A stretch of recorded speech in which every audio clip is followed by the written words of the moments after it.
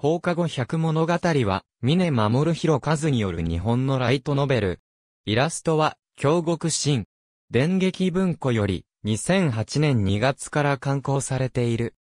第14回電撃小説大賞、大賞受賞作。白塚真一は、高校入学後すぐ、休部寸前の状態にあった、美術部を再興し自ら部長に就任。しかし、部員4名のうちまともに活動しているのは、新一と奈良山前人の2名だけであった。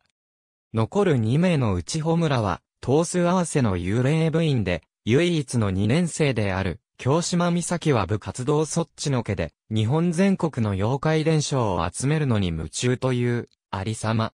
ある日の放課後、郊外へ、風景画の写生に行った奈良山を除く3名は、美咲が何気なく歌っていたわらべ歌の話題で盛り上がる。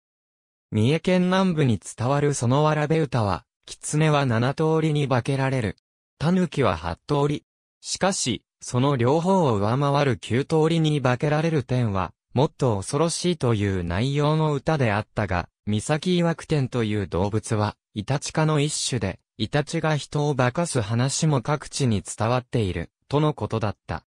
その日の晩、忘れた、教科書を取ろうと新一は、夜の学校を訪れるが、そこで端正な顔立ちをした少女に出会う。少女は、新一の血を吸うのが目的だと話すが、新一によって、正体を見破られた少女は、起きてによりその場から去らなくてはならなかった。しかし、別れ際に、舞一と交わしたある約束により、少女は、美術部の新入部員、伊達くずりとして新一と再会を果たす。神を降臨させるために、妖怪を使い暗躍している。鳥の姿と人間の姿を持っており、妖怪とは別のカテゴリーに属する存在。